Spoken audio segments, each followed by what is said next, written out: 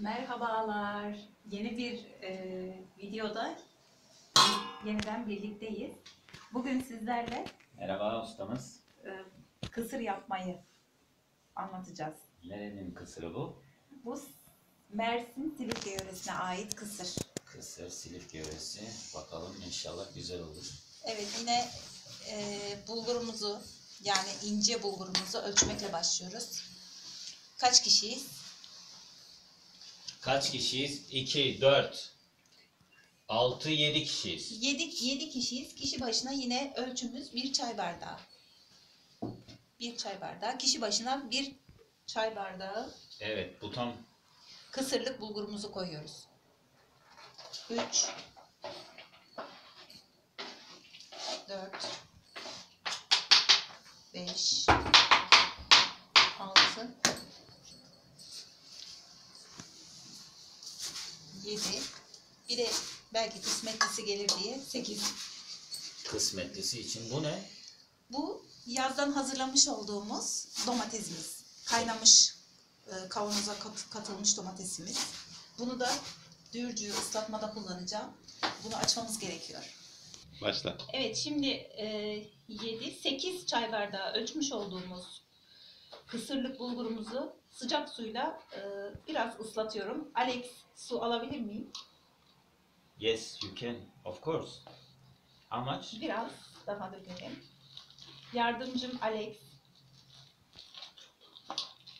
Tamam, teşekkür ediyorum. Bu kadar yeterli. Böyle. Çok az daha alabilir miyim? Şöyle. Tamam. Yeterli. Domatesi açmayacak mısınız? Evet, ıslatmış olduğumuz bulgurumuzu şöyle bir 10 dakika dinlenmeye bırakıyorum yumuşaması için. Alex, e, sen bize birkaç tane limon sıkıp hazır hale getirebilir misin? Yes of course. Manuel. Bir de şey sunum tabağı yapalım şöyle. Ya sürekli aklıma. E, ıslatmış olduğumuz bulgurumuzu sıcak suyla şöyle bir karıştırdım. Yazdan hazırlamış olduğumuz konserve domatesimizi de ekleyeceğiz. Sesli konuş biraz sesli. Hmm, mis gibi kokuyor. Şu görüntü bu.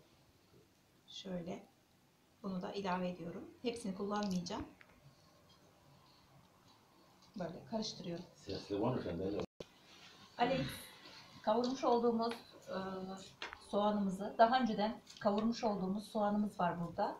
İçine kimyon, karabiber, kuru nane ve salça ilavesi yaptık. Onu da bu karışımımıza ilave edeceğiz. Alabilir miyim? Böyle elimle indiriyorum.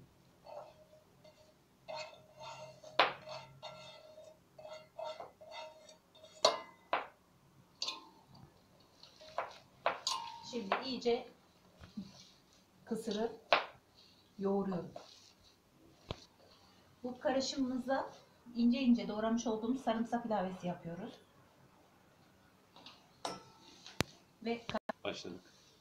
Şimdi sarımsak ilavesinden sonra ince ince doğranmış taze soğanımızı da ekliyorum. Ardından ince ince doğranmış maydanozumuzu ekliyoruz. Daha sonra salatalık ve domatesleri de alalım.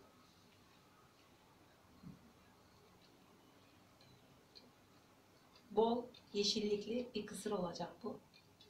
Maydanoz ilavemiz ilavesini de yapalım. Suyunu dökmüyorum çok cıvık olmasın diye. Sadece doğranmış domatesleri alıyorum. Şimdi karıştıracağım. Limon da ilave ediyoruz. Sıkmış olduğumuz limonları. Kavrulmuş soğanın içinde yağ vardı. O yetersiz bu kısır için. Tekrar üzerine zeytinyağı ilavesi yapıyoruz. Biz bu kısırı yaparken zeytinyağı kullandık. Başka hiçbir yağ kullanmadık. Oluyor. Biraz daha dökelim. Bolca. Evet, yoğurmuş olduğumuz kısır tamamlandı. Artık yemeğe hazır hale geldi. Şimdi servis yapacağız. Bu şekilde servis yapabiliriz marulla birlikte. Ee, afiyet olsun. Ee, soru, görüş ve önerilerinizi yorumlar kısmına yazabilirsiniz. Afiyet olsun.